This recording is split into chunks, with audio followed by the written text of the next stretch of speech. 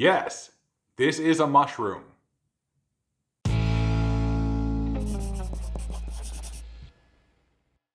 Welcome to Krocks in the Kitchen. I am Brian. Jessica will be back later for the taste test of this amazing recipe. So, today I am turning this absolutely gorgeous lion's mane mushroom into the recipe that we are calling not so crabby cakes. Now, this is absolutely the most expensive dish that I have ever made on this channel. I believe we spent about $20 total for 20 something dollars total for this amount of lion's mane mushroom and it is worth every penny. Now, this is not an everyday kind of food. This is not something that we're just going to be eating all the time. This is a rare occasion kind of deal. This is an anniversary, a birthday kind of meal. Something super fancy uh, just for, you know, a small group of loved ones or something along, or you can just eat them all yourself. That's perfectly fine too. But never fear. If you can't find mushrooms like this around where you are, we do have a much cheaper option that will work pretty darn well as well. So stay tuned for that little tip. But let's start making not so crabby cakes. For this recipe, you will need approximately one pound of lion's mane mushrooms.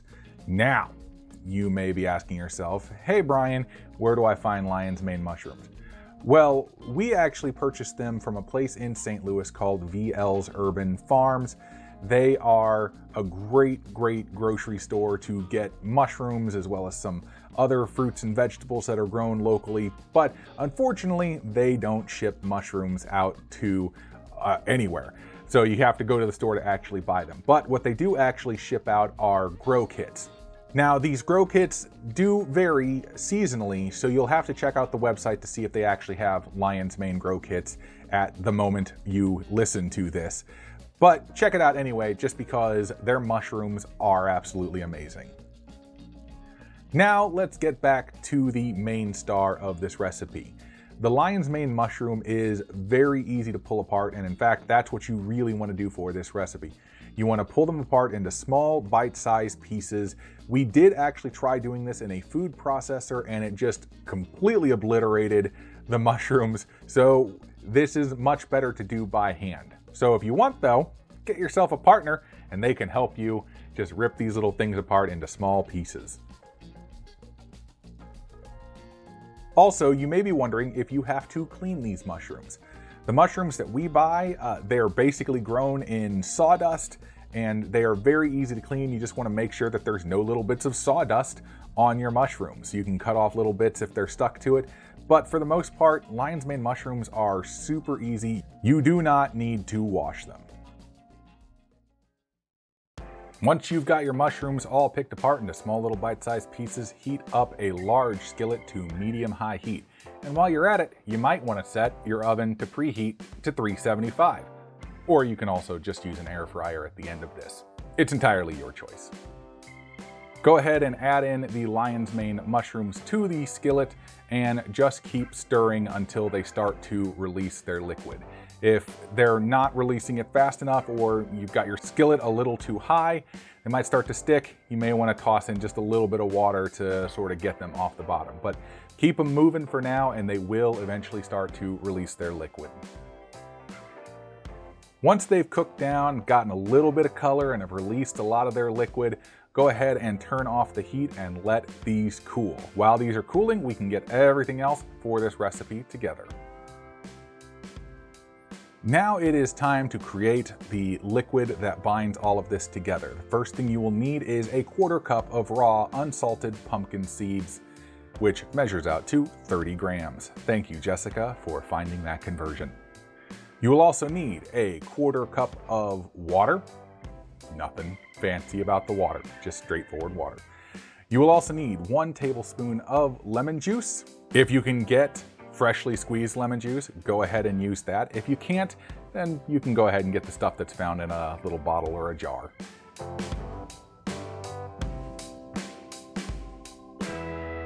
You'll also need one tablespoon of Worcestershire sauce. That's a hard word to say sometimes. Worcestershire sauce. Make sure that it is a vegan Worcestershire sauce because they are not all vegan. After that, you will need half a tablespoon of white miso paste,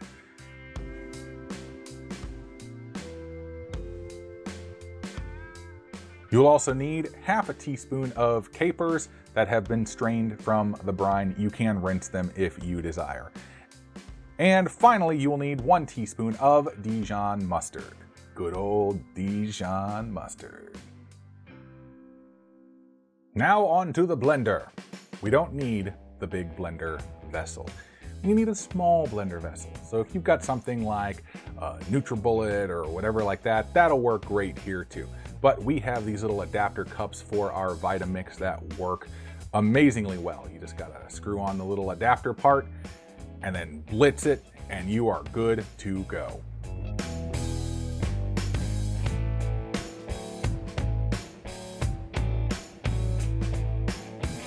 Once you've blended it for 30 seconds, everything should be nice and creamy. You might want to watch out while opening it up because as you saw there, some stuff flew out. That happens sometimes, it just happens. But look at that, it is nice and creamy and ready to go. Now for our dry ingredient, we will need some breadcrumbs. You can buy breadcrumbs if you want, but we actually just took a couple pieces of Ezekiel bread, toasted them up, and then blitzed them in a food processor, and then you can store them for a good while afterwards as well. You will also need two tablespoons of fresh Italian parsley, finely diced. You'll also need a half teaspoon of reduced sodium Old Bay seasoning.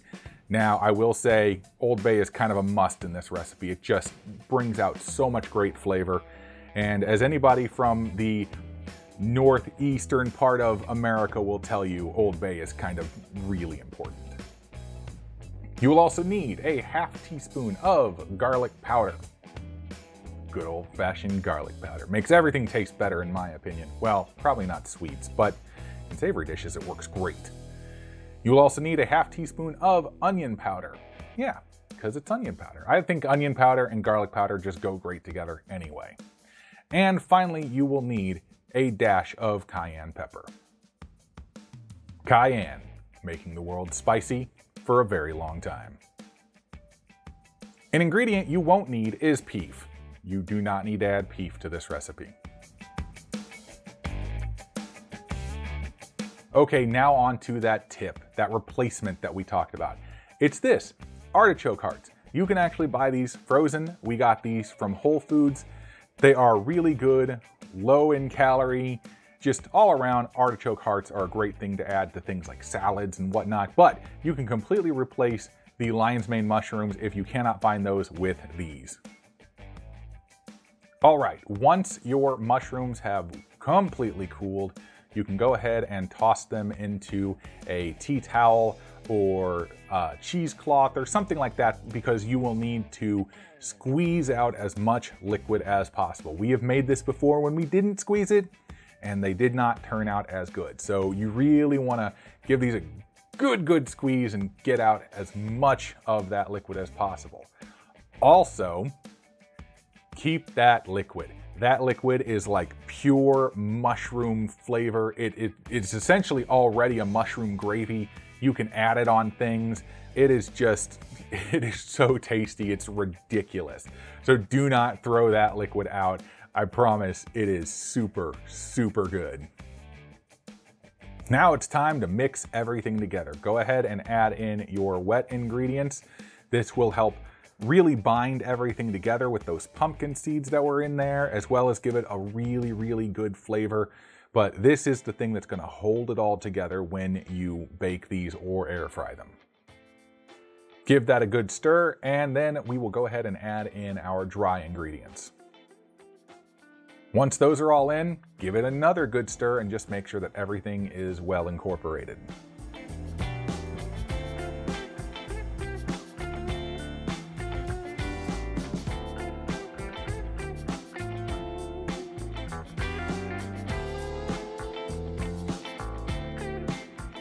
Now it's time to divvy these up into nice sized portions. You can use something like a cookie scoop like Jessica has right here, It works really, really well just for kind of portioning things out, but we are actually going to use a quarter cup measuring cup. But the thing you really wanna do with this is pack it in tight into the measuring cup. You can't just scoop it out and then pour it. It won't, it will not hold together. But you really need to like shove it into the quarter cup there and then you can just plop it right onto whatever it is that you were using to bake or air fry these. If you don't want to make all of them at once, you can very easily just put these into an airtight container and store them in your refrigerator, or you can actually freeze the mixture and then thaw it out whenever you want to use it at a later date. Now, like I said, we are going to use our beautiful air fryer. This is the Ninja 8-in-1. It is just a great little appliance that we have here. I don't know how I could live my life without this thing. Sometimes you don't want to turn on a full-on oven and heat up the entire house. We just got this little appliance and it even folds up so you can stick it up against the wall and it doesn't take up as much countertop space. This thing's awesome. We love this. We are going to air fry these at 375 for 12 minutes. You may need to back it off, do about 10 minutes depending on your air fryer, but you're really not going to overcook these at 12. Trust me, they're going to turn out great. Or you can bake them in an oven at 375 for 15 minutes, but You'll need to flip them after the first 10. Also, if you were ever interested in any of the products that we use on this channel or in these videos, you can find them in the blog post, which is linked in the description below. Once they are done cooking, they should be golden brown and delicious. These are just amazing. Look at this. Look at this beautiful footage here of these not so crabby cakes being pulled apart. Does that not just look amazing?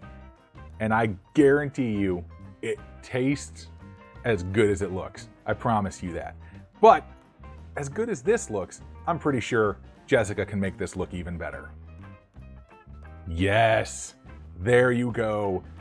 Finally presented not so crabby cakes with our delicious dill sauce. You can find the dill sauce, which is linked in the blog post, which is in the description below. But wait, there's more. Jessica wanted to show you that these crab cakes go great with a salad and you can actually use the dill sauce as a salad dressing on top of this. Trust me, we have had this so many times now and every single time it is awesome. But if you want to try it in a salad, go ahead. It's amazing there too. So there you have it. The most expensive thing that I have ever presented on this channel. Yay! Not so crabby cakes. But guys, it is worth it. Trust me. Did you see that pull? Like